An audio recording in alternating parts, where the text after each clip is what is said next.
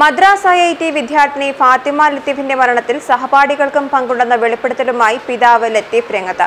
ഇതിൽ മലയാളികളുമുണ്ടെന്ന് അബ്ദുൽ ലത്തീഫ് ആരോപിക്കുന്നു.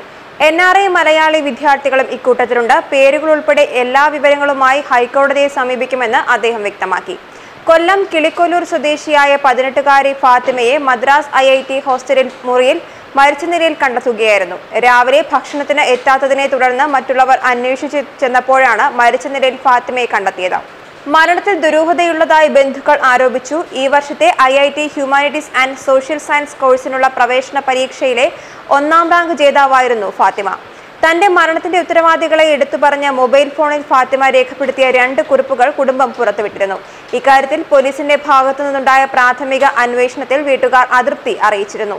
ഫാത്തിമ ലത്തീഫിന്റെ മൊബൈലിലെ ആത്മഹത്യാക്കുറിപ്പ് സത്യമാണെന്ന് ഫോറൻസിക് പരിശോധനയിൽ കണ്ടെത്തിയിരുന്നു.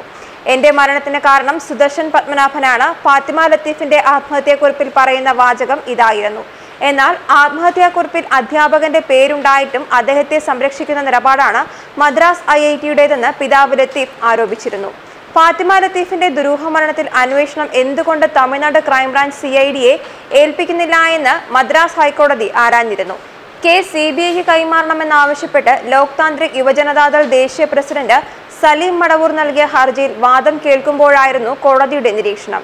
കേസ് പ്രത്യേക സംഘം അന്വേഷിക്കുകയാണെന്നും അന്വേഷണം പൂർത്തിയായതിനു ശേഷം കേസ് മറ്റൊരു ഏജൻസിക്ക് കൈമാറുന്നത് പരിഗണിക്കുമെന്നും സർക്കാർ അറിയിച്ചു. തുടർന്ന് കേസ് വിധി പറയുന്നതിനായി മാറ്റി.